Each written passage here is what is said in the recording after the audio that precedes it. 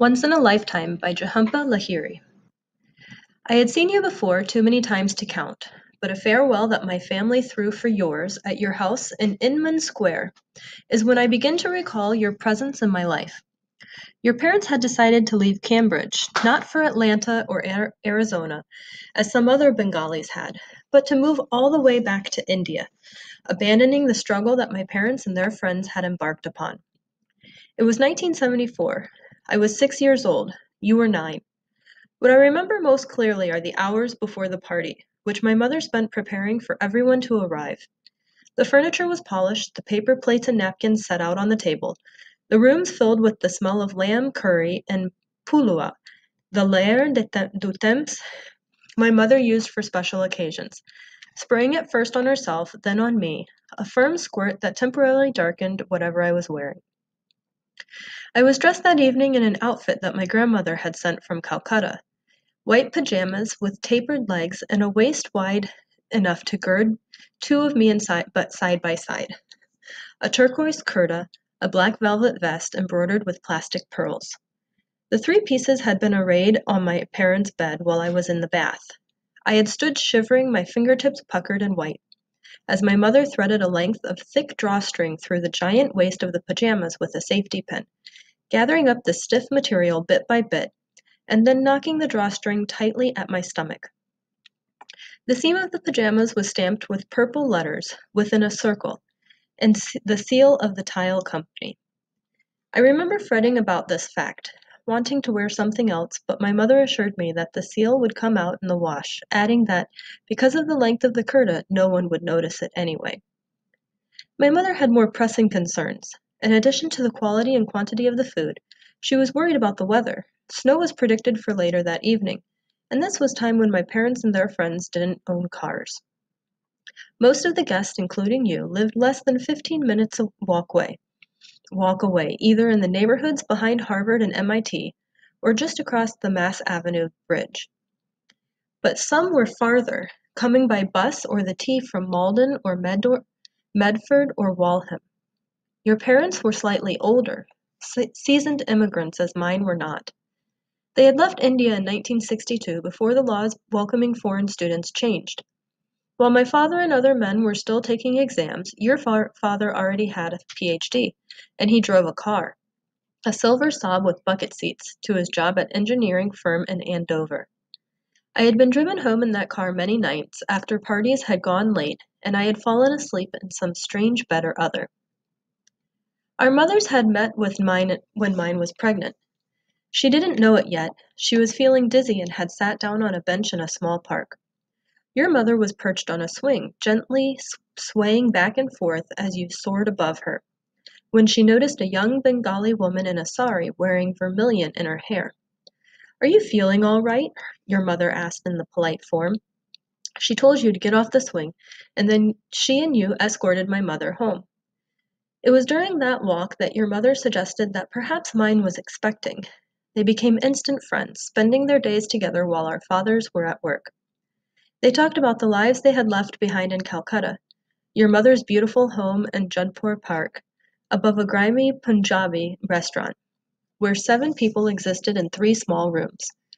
In Calcutta, would pro- they probably would have had little occasion to meet, your mother had gone to a convent school and was the daughter of one of Calcutta's most prominent lawyers, a pipe-smoking Anglophile, and a member of the Saturday Club.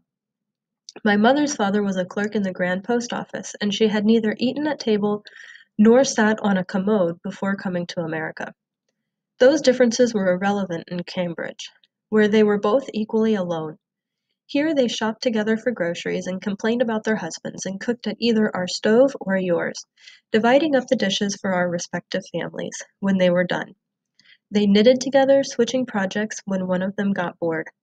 When I was born, your parents were only friends to visit the hospital. I was fed in your old high chair, pushed along the street in your old pram. During the party, it started snowing. As predicted, stragglers arriving with wet, white cloak, white caked coats, that we had to hang from a shower curtain rod. For years, my mother talked about how, when the party ended, your father made countless trips to drive people home, taking one couple as far as Braintree, claiming that it was no trouble, that this was his last opportunity to drive the car anyway. In the days before you left, your parents came by again to bring over pots and pans, small appliances, blankets and sheets, half used bags of flour and sugar, bottles of shampoo. We continue to refer to these things as your mother's. Get me Parul's frying pan, my mother would say, or I think we need to turn the setting down on Parul's toaster. Your mother also brought over shopping bags filled with clothes that she thought I might be able to use, that had once belonged to you. My mother put the bags away and took them with us when we moved, a few years later, from Inman Square to the house in Sharon, incorporating the clothes into my wardrobe as I grew into them. Mainly they were winter items, things you would no longer need in India. There were thick t-shirts and turtlenecks in navy and brown.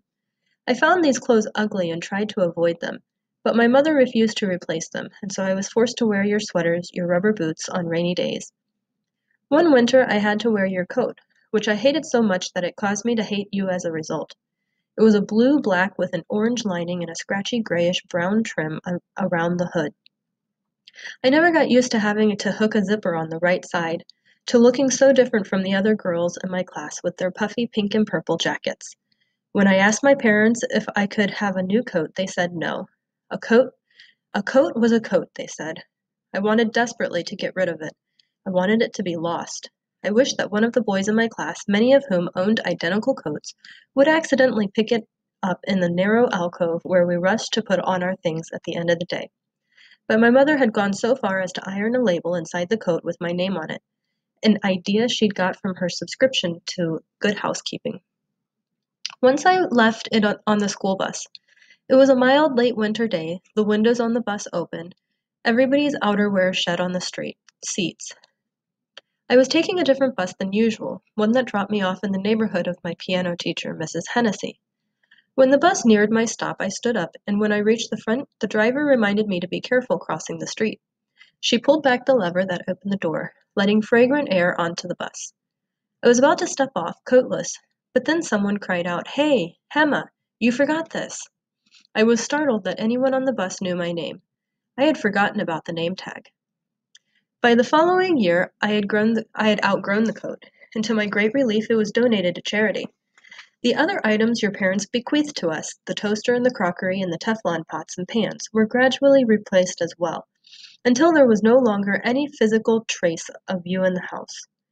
For years, our families had no contact, the friendship did not merit the same energy my parents devoted to their relatives, buying sacks of aerograms the at the post office and sending them off faithfully every week, asking me to write the same three sentences to each set of grandparents at the bottom.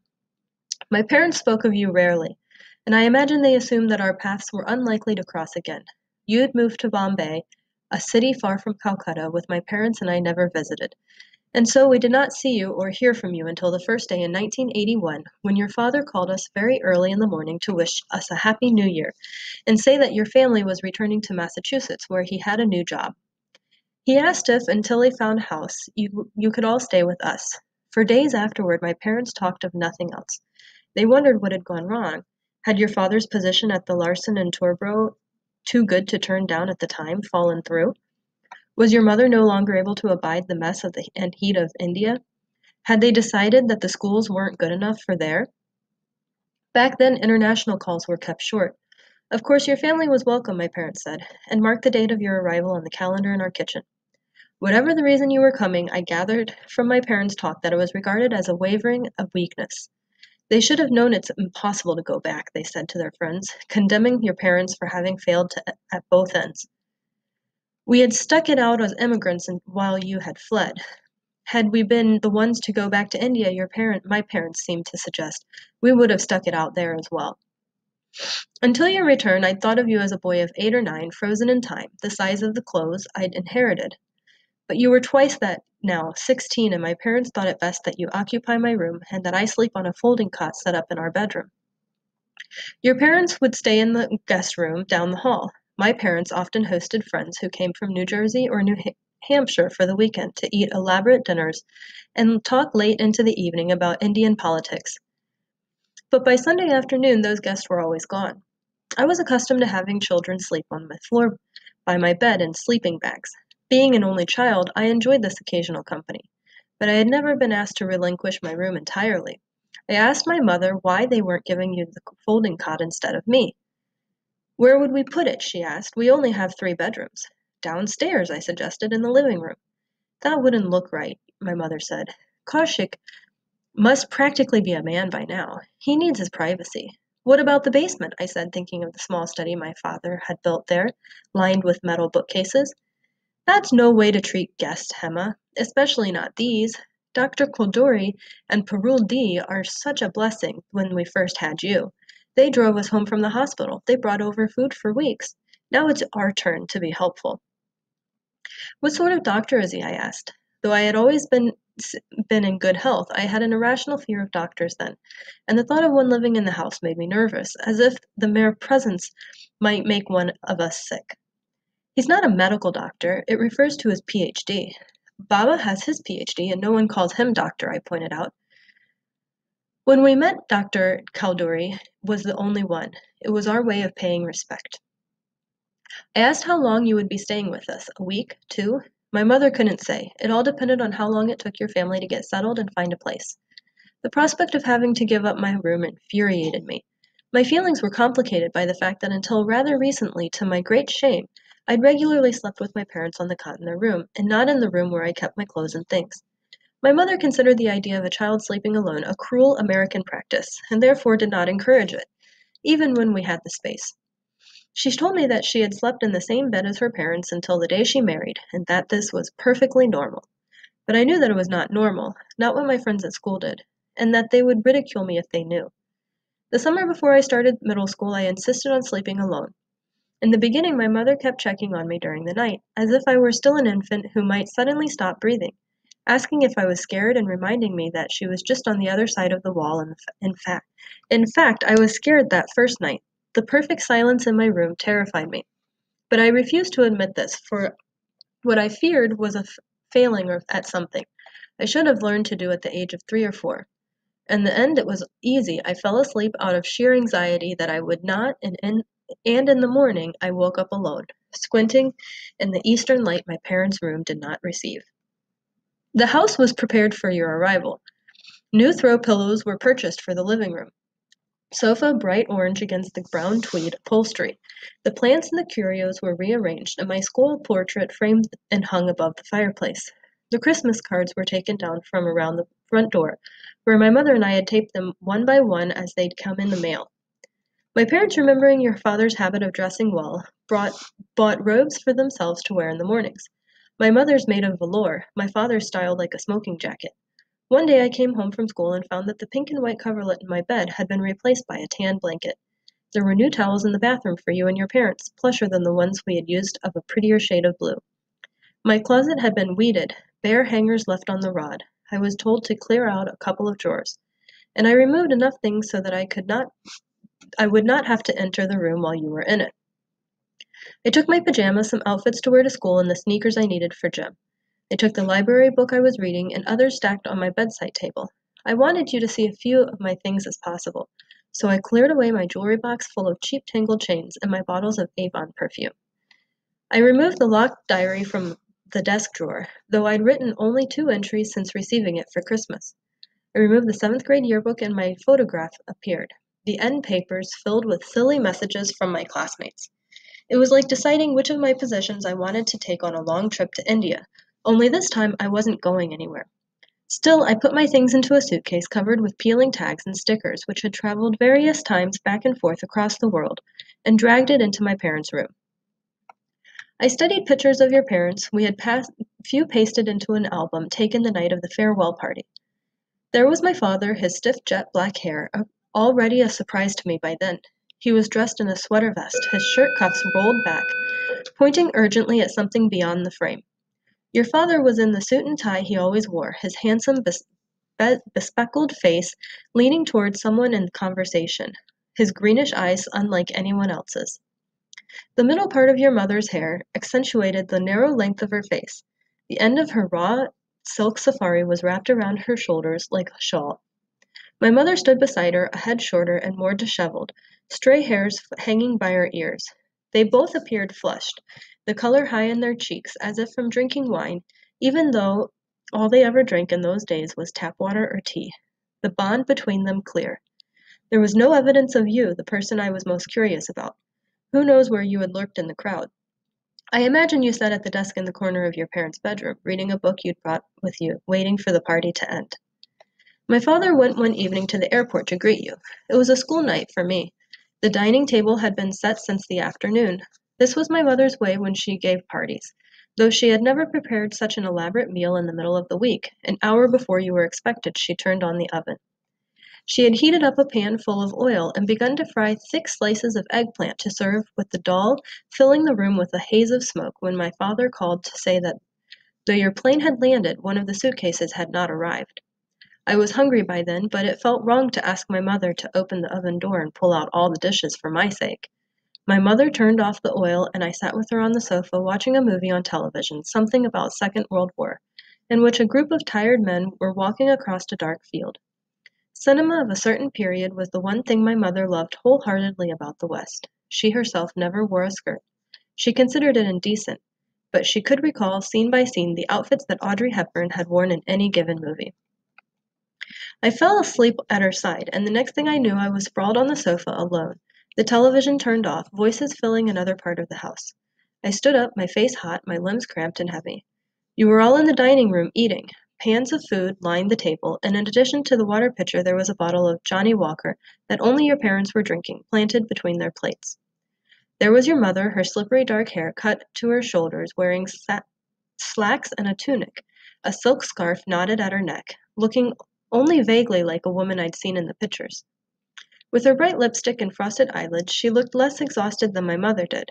She had remained thin, her collarbones glamorously protruding, unburdened by the weight of middle age that now padded my mother's features. Your father looked more or less the same, still handsome, still wearing a jacket and tie, a different style of glasses, his concession to the new decade. You were pale like your father, long bangs combed over to one side of your face, your eyes distracted yet missing nothing. I had not expected you to be handsome. I had not expected to find you appealing in the least.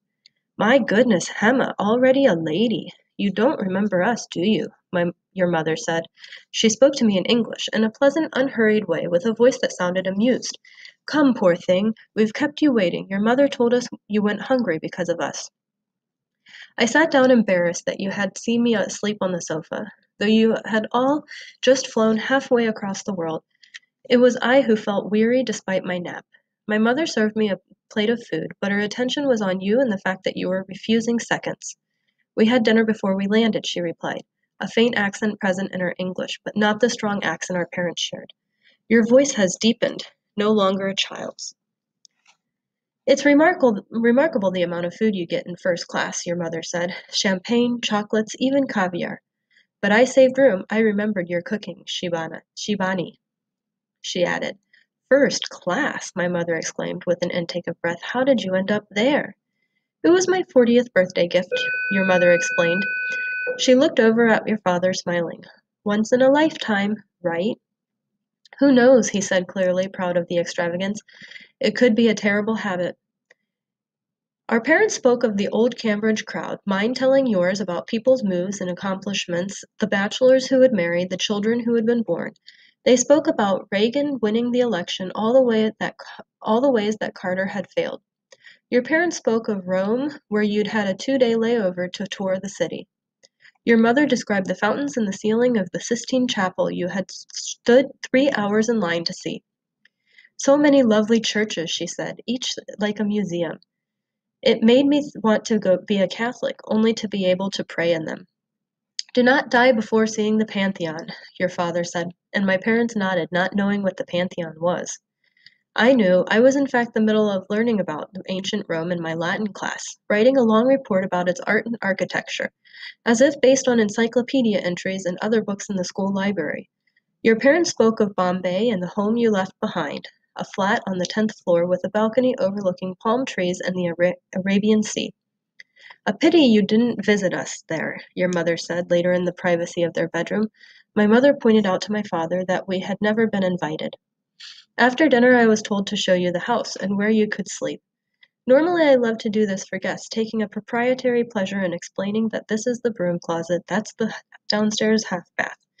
But now I lingered over nothing. for I sensed your boredom. I was also nervous at being sent off with you, disturbed by the immediate schoolgirl attraction I felt. I was used to admiring boys by then, boys in my class who were and would remain unaware of my existence. But never someone as old as you, never someone belonging to the world of my parents. It was you who led me, climbing quickly up the stairs, opening the doors, poking your head into rooms, unimpressed by it all. This is my room, your room, I said, correcting myself. After dreading it all after dreading it all this time, now I was secretly thrilled that you would be sleeping here. You would absorb my presence, I thought. Without you, without my having to do a thing, you would come to know me and like me. You walked across the room to the window, opened it, and leaned out into the darkness, letting cold air into the room. Ever go out on the roof? you asked. You did not wait for me to answer, and the next thing I knew, you'd lifted the screen and were gone. I rushed over to the window, and when I leaned outside, I couldn't see you. I imagined you slipping on the shingles, falling into the shrubbery, by my being blamed for the accident, for standing by, stupidly, as you did such a brazen thing. Are you okay? I called out. The local thing would have been to say your name, but I felt uninhibited and did not. Eventually, you came back around, seating yourself on the incline over the garage, gazing down at the lawn. What's behind the house? Woods, but you can't go there. Who said? Everyone, my parents and all the teachers in school. Why not? A boy got lost in them last year. He's still missing. His name was Kevin McGrath, and he'd been two grades behind me. For a week we'd tried no, nothing but helicopters, dogs barking, and searching for signs of him. You did not react to this information. Instead, you asked, Why do people have yellow ribbons tied in your mailboxes? They're for the hostages in Iran. I bet most Americans had never heard of Iran before, you said, causing me to feel responsible both for my neighbor's patriotism and for their ignorance. What's that thing to the right? A swing set? The word must have amused you. You faced me and smiled, though not kindly, as if I'd invented the term. I miss the cold, you said, this cold. The remark reminded me that none of this was new to you. And the snow. When will it snow again? I don't know. There wasn't snow for Christmas this year. You climbed back into the room, disappointed. I feared my lack of information. You glanced at yourself in the white framed mirror, your head nearly cut off at the top. Where's the bathroom? you asked, already halfway out the door. That night, laying on the cot in my parents' room, wide awake, that is, it was well past midnight, I heard my mother and father talking in the dark. I worried that perhaps you would hear them too. The bed where you slept was just on the other side of the wall, and if I had been able to stick my hand through it, I would have touched you. My parents were at once critical and, and of and intimidated by yours, perplexed by the ways in which they had changed. Bombay had made them more American than Cambridge had, my mother said, something she hadn't anticipated and didn't understand. There were remarks concerning your mother's short hair, her slacks, the Johnnie Walker she and her father continued to drink after the meal was finished, taking it with them from the dining room to the living room. It was mainly my mother who talked, my father listening and murmuring now and then in tired consent. My parents, who had never set foot in a liquor store, wondered whether they would buy another bottle. At the rate your parents were going, that bottle would be drained by tomorrow, my mother said. She remarked that your mother had become stylish, a pejorative term in her vocabulary, implying a self indulgence that she shunned. Twelve people could have flown for the price of one first class ticket, she said. My mother's birthdays came and went without acknowledgment of my father. I was the only one who who made a card and had him sign it with me on the first of the every June. Suddenly my mother sat up, sniffing the air. I smell smoke, she said, and my mother my father asked if she had remembered to turn off the oven. My mother said she was certain she had, but she asked him to get up and check. It's a cigarette you smell, he said when he came back to bed. Someone's been smoking in the bathroom. I didn't know Dr. Choudhuri smoked, my mother said. Should we have put it out an ashtray? In the morning you all slept in, victims of jet lag, reminding us that despite your presence, your bags crowding the halls, your toothbrushes cluttering the side of the sink, you belonged elsewhere. When I returned from school in the afternoon, you were still sleeping, and at dinner, breakfast for you, you'd all declined the curry we were eating, craving toast and tea. It was like that for the first few days. You were awake when we slept, sleeping when we were awake. We were leading antipodal lives under the same roof. As a result, apart from the fact that I wasn't sleeping in my own room, there was little change. I drank my orange juice and ate my bowl of cereal, and went off to the bus stop As usual. I spoke to no one of your arrival. I almost never revealed details of my home life to my American friends. As a child, I had always dreaded my birthdays, when a dozen girls would appear in the house glimpsing the way we lived. I don't know how I would have referred to you. A family friend, I suppose. The day I came home from school and found your parents awake, their ankles uh, crossed on one of the coffee tables, filling up the sofa where I normally sat to watch the Brady Bunch and Gilligan's Island, they were chatting with my mother, who was in the recliner with a bowl in her lap, peeling potatoes. Your mother was dressed in a nylon sari of my mother's purple with red dots in various sizes. Distressing news of your mother's missing suitcase had come. It had been located in Rome, but had been placed on a flight in Johannesburg. I remember thinking that the sari looked better on your mother than on mine. The intense purple shade was more flattering against her skin. I was told that you were outside in the yard. I did not go out for, to look for you. Instead, I practiced the piano. It was nearly dark by the time you came in, excepting the tea that was still too young to drink. Your parents drank tea as well, but by six o'clock the bottle of Johnnie Walker was on the coffee table, and it would be every night that you stayed with us. You had gone out in the only pullover your father's costly camera slung around your neck. Your face showed the effects of the cold, your eyes blazing and the borders of your ears crimson, your skin glowing from within. There's a stream back there, you said, in those woods. My mother came nervous, then warning you not to go there, as she had so often warned me, as I had warned you the night you came, but your parents did not share her concern. What had you photographed? they asked instead. Nothing, you replied, and I took it personally that nothing had inspired you. The suburbs were new to you and your parents. Whatever memories you possessed of America were of Cambridge, a place that I only I could only dimly recall. You took your tea and disappeared to the room as if you were it were yours, emerging only when summoned for dinner. You ate quickly, not speaking, then returned upstairs. It was your parents who paid me court, who asked me questions and complimented me on my manners, on my piano playing, on all the things I did to help my mother around the house. Look, Kaushik, how Hema makes her lunch, your mother would say as I prepared a ham and turkey sandwich after dinner and put it in the paper bag to take to school the next day. I was still very much a child, while you, just three years older, had already eluded your parents' grasp. You did not argue with them, and yet you did not seem to talk to them very much either. While you were outside, I heard them tell your my mother how unhappy you were to be back. He was furious that he left. And now he's furious that we're here again, your mother said. Even in Bombay, we managed to raise a typical American teenager. I did my homework at the dining table, unable to use the desk in my room. I worked on my ancient Rome report, something that had interested me until your arrival. Now it seems silly, given that you'd been here. You'd been there. I longed to work on it in privacy, but your father talked to me at length about the structural aspects of the Colosseum.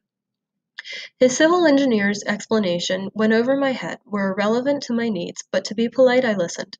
I worried that he would want to see whether I had incorporated the things he said, but he never bothered me about it. He hunted through his bags and showed me postcards he'd purchased, and though it had nothing to do with my report, he gave me a two lire coin. When the worst of your jet lag had subsided, we went to the mall in your parents' station wagon. Your mother needed bras, one item that she could not borrow from my voluptuous mother. At the mall, your father, our fathers sat together in a sunken area of benches and potted plants, waiting, and you were given some money and allowed to wander off while I accompanied our mothers to the lingerie department of Jordan Marsh. Your mother led us there with the credit card your father had handed her before they parted. Normally we went to Sears. On her way to the bras, we, she bought black leather gloves and a pair of boots that zipped to the knee, never looking at the price before taking something off the shelf. In the lingerie department, it was it was me the salesman approached. We have lovely training models just in, she said to your mother, believing it, I was her daughter. Oh, no, she's far too young, my mother said. But look how sweet, my, your mother said, fingering the style of the sa- saleswoman presented on a hanger, lacy white with a rosebud in its center. I had yet to get my period, and unlike many of the girls at school, still wore flower printed undershirts. I was ushered into the fitting room, your mother watching approvingly as I took off my coat and sweater and tried on the bra.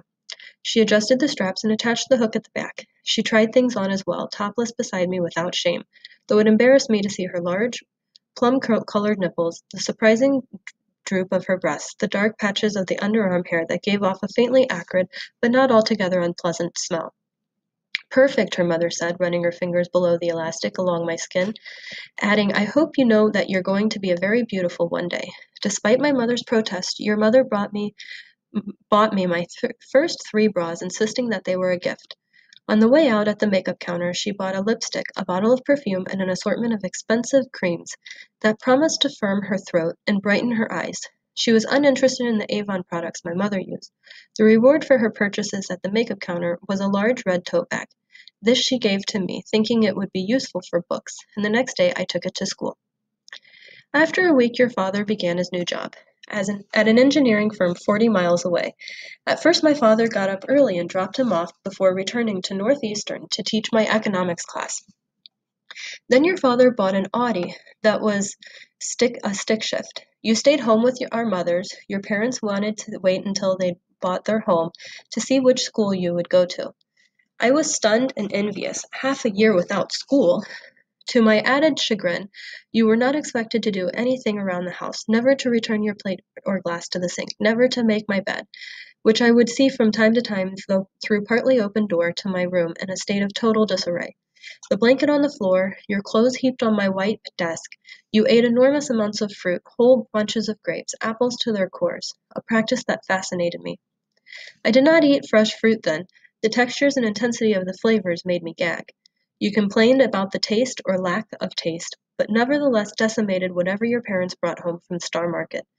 I would find I would find you when I came home in the afternoons, always at the same end of the sofa, the toes of your thin, bare feet hooked around the edge of the coffee table, reading books by Isaac Asimov that you'd picked off my father's shelves in the basement. I hated Doctor Who, the one show you liked on television. I did not know what to make of you. Because you lived in India, I associated you more with my parents than with me. And yet you were unlike my cousins in Calcutta, who seemed so innocent and obedient, when I visited them, asking questions about my life in America as if it were the moon, astonished by every detail. You were not curious about me in the least. One day a friend at school invited me to the Empire Strikes Back on Saturday afternoon.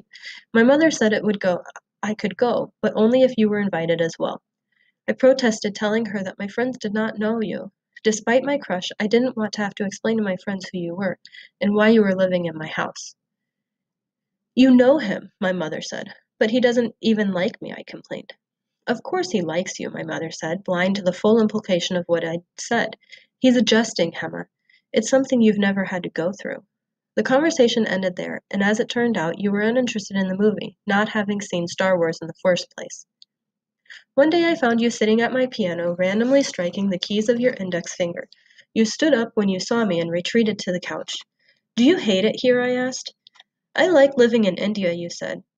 I did not betray my opinion and I found trips to India dull, that I liked into the didn't like the ghettos that clung to the walls in the evenings, poking in and out of the fluorescent light fixtures, or the giant cockroaches that sometimes watched me as I bathed. I didn't like the comments my relatives made freely in my presence that I had not inherited from my mother's graceful hands, that my skin had darkened since I was a child. Bombay is nothing like Calcutta, you added, if as if reading my mind. Is it close to the Taj Mahal? No, you looked at me carefully, as if fully registering my presence for the first time. Haven't you ever looked at a map? On our trip to the mall, you'd bought a record, something by the Rolling Stones. The jacket was white, with that with what seemed to be a cake on it. You had no interest in the few records I owned. ABBA, Sean, Cass- Shaun Cassidy, a disco compilation I'd ordered from a TV commercial with my allowance money. Nor were you willing to play your album on the plastic radio player in my room. You opened up the cabinet where my father kept his turntable and receiver. My father was extremely particular about his stereo components. They were off limits to me and even to my mother. The stereo had been the single extravagant purchase of his life. He cleaned everything himself, wiping the parts with the special cloth on Saturday mornings before listening to his collection of Indian vocalists. You can't touch that, I said. You turned around. The lid of the player was already lifted, the recording revolving. You held the arm of the needle resting its weight on your finger. I know how to play a record, you said, no longer wanting to make no longer making an effort to conceal your irritation. And then you let the needle drop. How bored you must have been in this room full of girls' things. It must have driven you crazy being stuck with our mothers all day as they cooked and watched soap operas. Really, it was my mother who did the cooking now. Though your mother kept her company occasionally peeling or, or slicing something, she was no longer interested in cooking, as she had been in the Cambridge days. She'd been spoiled, spoiled by Zareen, the fabulous Parsi cook you'd had in Bombay, she said. From time to time, she would promise to make us an English trifle, the one thing she had always insisted on making herself, but this didn't materialize. She continued to borrow saris from my mother and went to the mall to buy herself more sweaters and trousers. Her missing suitcase never arrived, and she accepted this fact calmly, saying that it gave her an excuse to buy new things. But your father battled on her behalf making a series of irate phone calls to the airline before finally letting the matter go. You were in the house as little as possible, walking to walking in the cold wet weather through the woods and along streets where you were the only pedestrian. I spotted you once while I was on the school bus coming home, shocked at how how far you'd gone. You're going to get sick, Kashuk, Kushik, always wandering outside like that, my mother said and she continued to speak in Bengali despite your consistently English replies. It was your mother who had come down with a cold, using this as an excuse to stay in bed for days. She refused the food of my mother, made for the rest of us, requesting only canned ch- chicken broth. You walked the mini mart a mile from our house, bringing back the broth and issues of Vogue and Harper's Bazaar. Go ask Parul Mashi if she wants tea, my mother said one afternoon, and I headed upstairs to the guest room. On my way I needed to use the bathroom, and there was your mother wrapped in my ro- in a robe, perched morosely on one, the edge of the bathtub, legs crossed, smoking a cigarette.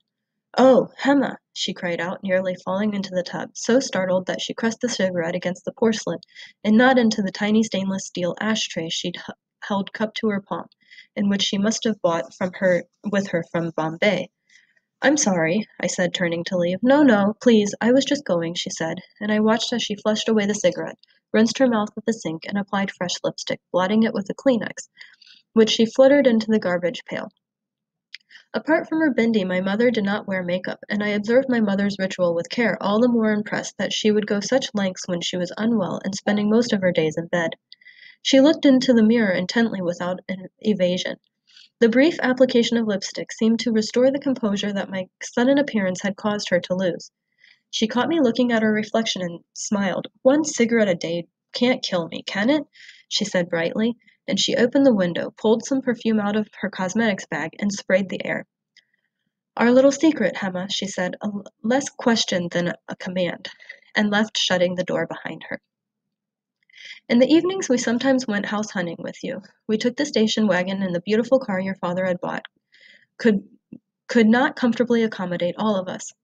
My father drove hesitantly to unknown neighborhoods where the lawns were all a little bigger than ours, the houses spaced a little farther apart, and your parents searched first in Lexington and Concord, where the schools were best. Some of the homes we saw were empty, others full of current occupants and their possessions. None, according to the conversations I overheard at night as I tried to fall asleep, were the sort my parents could afford.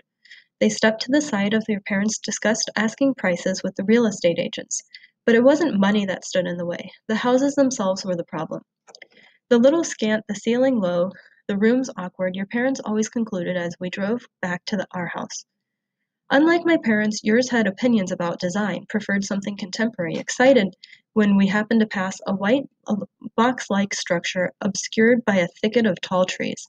They sought an in-ground pool or space to build one. Your mother missed swimming in her club at her club in Bombay.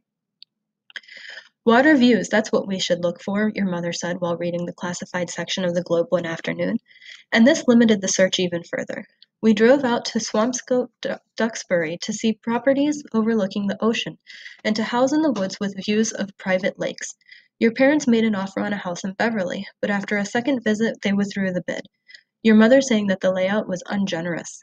My parents felt slighted by your parents' extravagant visions, ashamed of the modest home we owned. How uncomfortable you must be here, they said, but my parents never complained. As mine did, nightly before falling asleep. I didn't expect it to take so long, my mother said, noting that almost a month had gone by. While you were with us, there was no room for anyone else. The Dasguptas wanted to visit next weekend, and I had to say no, my mother said.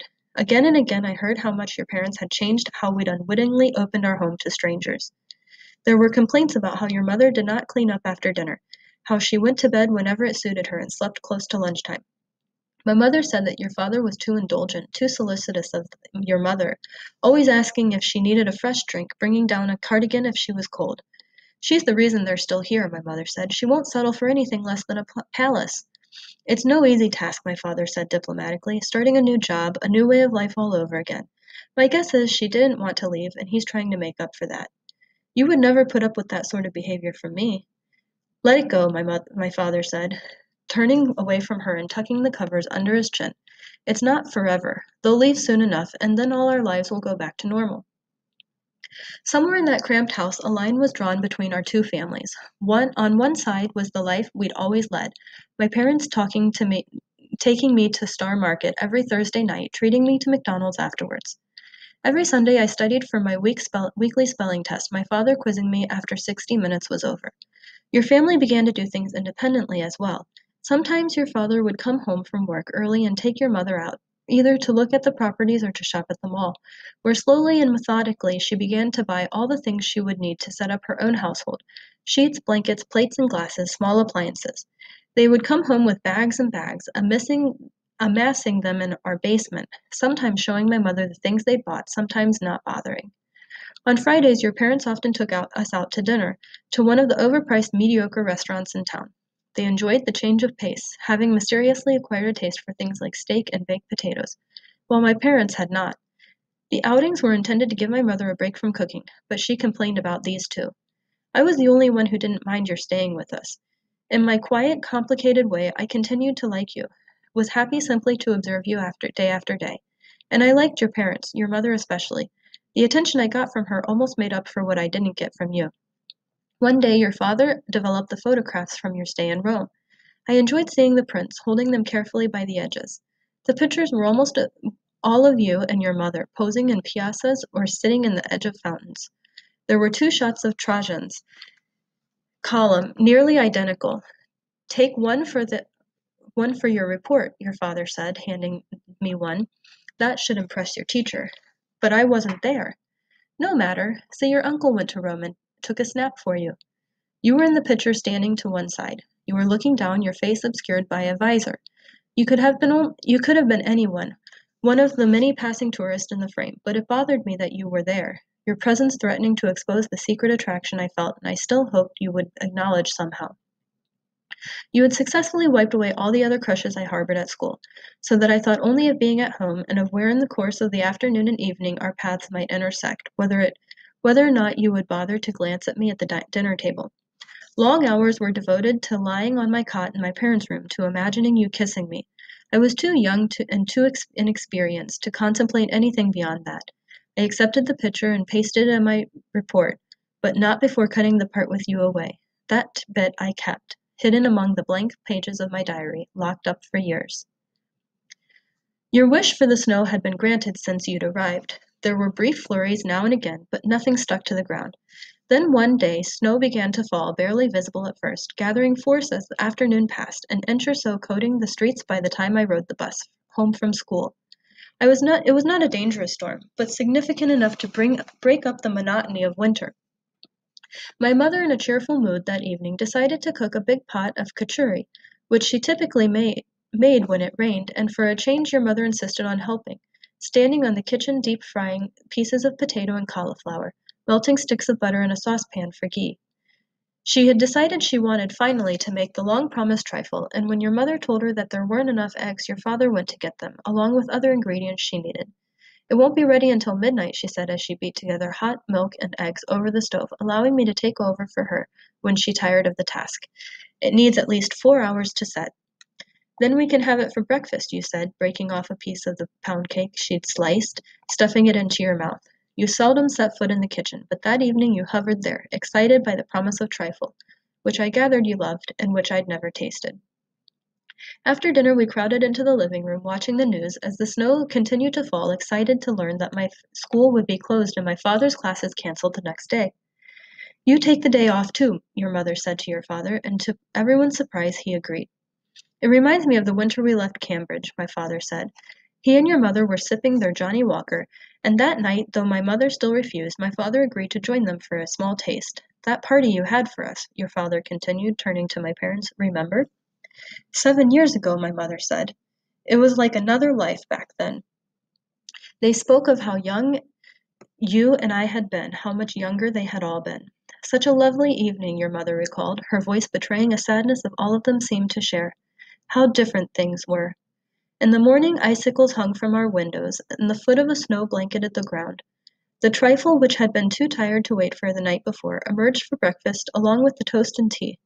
It was not what I expected, the hot mixture I'd helped beat on the stove, now cold and slippery, but you devoured bowl after bowl, and your family finally pulled it away, fearing that you would get a stomach ache. After breakfast, our fathers took turns with the shovel clearing the driveway. When the wind had settled, I was allowed to go outside. Usually I made snowmen alone, scrawny and lopsided, my parents complaining when I asked for a carrot. That is that it was a waste of food. But this time you joined me, touching the snow with your bare hands, studying it, looking happy for the first time since you arrived. You packed a bit of it into a ball and tossed it in my direction. I ducked out of the way and then drew one at one at you, hitting you in the leg, aware of the camera hanging around your neck. I surrender, you said, raising your arms. This is beautiful, you added, looking around at our lawn, which the snow had transformed. I felt flattered, though I had nothing to do with the weather. You began walking toward the woods, and I hesitated. There was something you wanted to show me there, you said. Covered in snow on that bright blue skied day, the bare branches of the trees concealing so little and seemed safe. I did not think of the boy lost there and never found, from the time you stopped, focusing your camera on something, never asking me to pose. We walked a long way until I no longer heard the sounds of the snow being shoveled, no longer saw your house. Our house. I hadn't real I didn't realize at first what you were doing, getting on your knees and pushing away the snow. Underneath was a rock of some sort, and then I saw that it was a tombstone. You uncovered a row of them flat on the ground, and I began to help you, unburying the buried, using my mittened hands at first and then my whole arm. They belong to people named Simons, a family of six. They're all together, you said, mother, father, four children. I never knew this was here. I doubt anyone does. It was buried under leaves when I first found it. The last one, Emma, died in 1923. I nodded, disturbed by the similarity in the name to mine, wondering if it had occurred to you. It makes me wish we weren't Hindu, so that my mother would could be buried somewhere, but she made us promise we'll scatter her ashes into the Atlantic. I looked at you confused, and so you continued, explaining that there was a cancer in her breast, spreading through the rest of her body. That was why you had left India. It was not so much for treatment as it had been as it was to be left alone. In India people knew she was dying and had to you remained there, inevitably friends and family would have gathered at her side in your beautiful seaside apartment, trying to shield her from something she could not escape. Your mother, not wanting to be suffocated by the attention, not wanting her parents to witness her decline, had asked your father to bring you all back to America. She's being seen she's been seeing a new doctor at Mass General. That's where your father often takes her when they say they're going to see houses. She's going to have surgery in the spring, but it's only to buy her a little more time. She doesn't want anyone here to know, not until the end. The information fell between us, as shocking as if you'd struck me in the face, and I began to cry. At first the tears fell silently sliding over my nearly frozen face, but then I started sobbing, becoming ugly in front of you, my nose running in the cold, my eyes turning red. I stood there, my hands wedged up under my cheekbones to catch the tears, mortified that you were witnessing such a pathetic display. Though you had never taken a picture of me in your life, I was afraid you would lift the camera and capture me that way. Of course you did not. You said nothing. You had you had said enough. You remained where you were, looking down at the tombstone of Emma Simons, and eventually when I calmed down you began to walk back to our yard. I followed you along the path you had discovered, and then we parted, neither of us to comfort the other. You shoveling the driveway, I going inside for a hot shower, my red puffy face assumed by your mothers to be a consequence of the cold. Perhaps you believed I was crying for you, or for your mother, but I was not. I was too young that day to feel sorrow or sympathy. I felt only the enormous fear of having a dying woman in our home. I remembered standing beside your mother, both of us topless in the fitting room where I tried on my first bra, disturbed that I had been in such close proximity to her disease. I was furious that you had told me, and that you had not told me, feeling at once burdened and betrayed, hating you all over again.